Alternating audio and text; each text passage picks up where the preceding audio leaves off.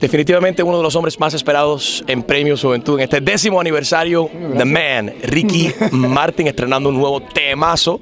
Gracias, man. ¿Cómo te sientes, Ricky? Bien, bien. Ese público es maravilloso siempre. Aquí en Miami, no solamente en Miami, Estados Unidos, nosotros los latinos, por eso es que nosotros volvimos al escenario, porque es un vicio, es una adicción. La música, por supuesto, nos impulsa, pero por esa reacción del público es lo que nos hace volver y volver.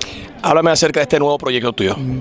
Pues en realidad bien simple. Yo empecé, me metí al escenario, perdóname, me metí al Hay que estudio. tener cuidado con cómo. Me metí, Me al metí. Estudio, me metí al estudio estando en Australia, grabando el programa de televisión y dije, déjame jugar un poquito con sonido para ver dónde estoy, porque yo honestamente yo no sabía dónde yo estaba.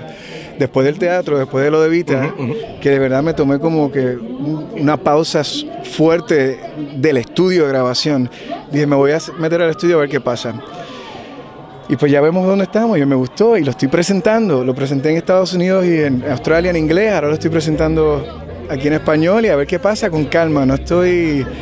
no I have an estoy- inclination. Yo creo que yo sé muy bien lo que va a pasar. It's a hit, of course. The, the- the song you did tonight was a hit, por supuesto, un hit. Y tu nueva producción también.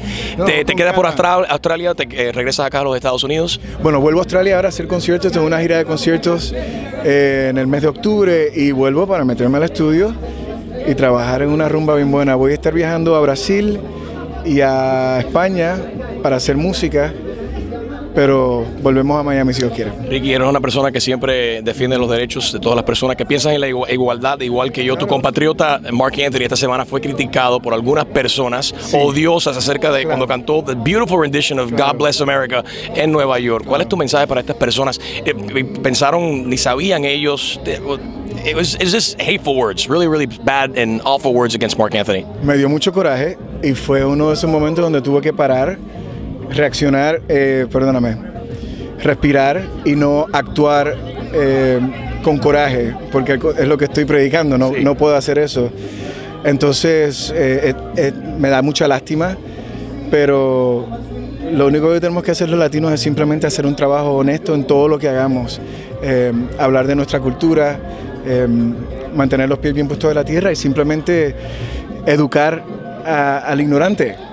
Felicidades, Ricky. Muchas gracias a ti, mano. Todo lo mejor para ti, mi hermano, siempre. Ricky Martín.